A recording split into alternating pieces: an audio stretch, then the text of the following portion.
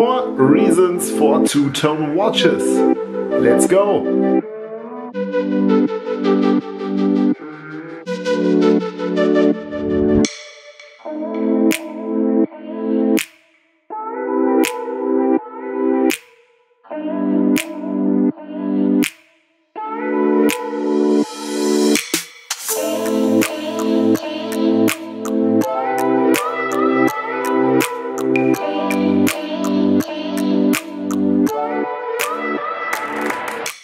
Yeah guys i don't know why this is but two-tone watches I, I, do have a thing for two-tone watches. Um, the first watch I purchased was my Rolex GMT Master 2. It is still in my collection and I'm every time very happy and satisfied with.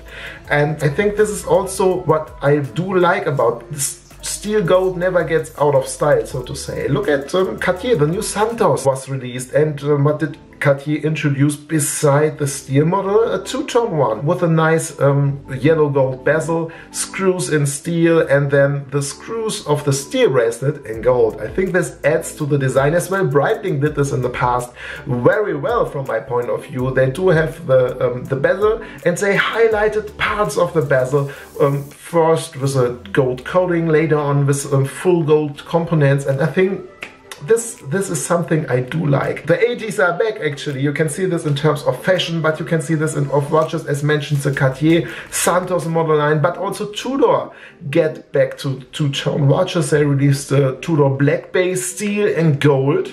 I really do like and I do, do really hope for 2019 Baselworld 20th of March um, that they release also new colors for the Tudor Black Bay steel and gold. This would be awesome and I think this is something which never gets out of style and which looks every time once and again pretty good. Reason number two why I do actually prefer two-tone watches is you got the best out of two worlds. You've got the shininess, the warmth of yellow gold or rose gold and you've got the robustness and roughness of steel. Of course the center links of my 1167 13LN do have scratches, yeah, but um, in comparison with my 1166 18 I felt that this was even more easier to scratch.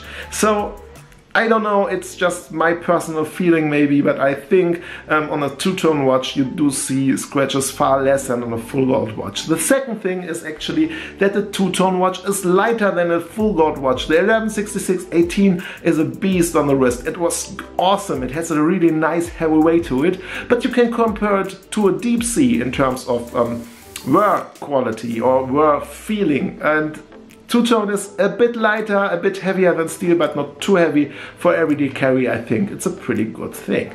A reason number three for two-tone watches is actually um, it combines with every metal actually. So uh, if you, right now I do wear a steel watch and a gold ring. It's alright, it's working. I do mix my metals. Actually, to be honest, come on, if you have a two-tone watch, it does combine far easier. It doesn't look out of place. You've got a gold ring, you've got a steel bracelet, you've got a two-tone watch. It fits in, uh, or you maybe you have a clasp of your belt uh, made of um, gold or with a gold coating. I, Maybe it's just my point of view, but I think I do prefer two-tone watch when I combine different metals um, as well with my jewelry. And the final and fourth reason for two-tone watches is you can get them you want a Daytona? Get a two-tone Daytona. You don't need to be on a waiting list. You want to have a Submariner right now with discount? Go two-tone. Come on guys, this is the best reason, isn't it? you might who wants to be on a waiting list for a steel watch? Really? Alright guys, this concludes today's video. I would like to know, know from you guys, what do you prefer? Do you like two tone watches? Why or why not do you? Please share this with the community in the comment section below. I wish all of you now a very happy Sunday afternoon, a good start into the new week. Look forward to see you in the next one. Say goodbye and auf Wiedersehen, euer Konstantin. Ciao guys.